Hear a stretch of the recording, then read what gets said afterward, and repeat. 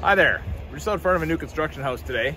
want to kind of point out a couple small differences between new construction and, and a used residential home. New construction, as you can see behind us, fantastic. You get exactly what you want. You can kind of put your own stamp on it. You can work with the builder, really customize things to your own specifications. One thing people don't think about lots of times, or a couple things I guess, is generally uh, with new construction, you don't get blinds included, you don't get appliances, fencing, or landscaping. So if you're gonna purchase new construction, it's a, it's a great way to go. I have a new home myself. Uh, great way to go. Just keep in mind there's some additional things you may want to factor into your budget going forward. So hopefully that helps you out. Have a great day.